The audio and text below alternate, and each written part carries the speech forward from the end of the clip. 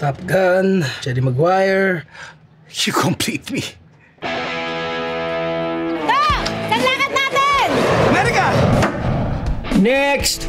Yung mga puting yan, bibigyan ka lang nila ng tourist visa pag na-feel nila na galing kayo sa isang disenteng pamilya. Decente pamilya ko. Antonio, meet your new father! Sige, ang ngiti nga po kayo. Eh, yung nakatikom po yung labi. Eh, po yung kasama mo eh. How dare you, Toto? Kailangan natin magmukhang nakatira tayo sa sa Forest Park. Hindi yung galing Admita. That hurts. Mission Impossible. Nay. Tito Rebellos! Iyan! May ibabalita po si Toto sa inyo. Walay ka pa nakakuha ng leksyon at tabaw eh mo tatay. Anak, konting pasensya lang. Matuto ka kasing dumiskarte katulad ko. Good afternoon, Mr. Yeltsin. Can I get some action?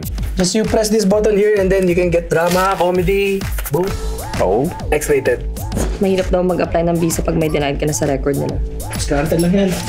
Room service. Miss Porter, you're American, yes? Will you marry me? Excuse me. So it's pure business. If you insist we can have sex, it's okay with me.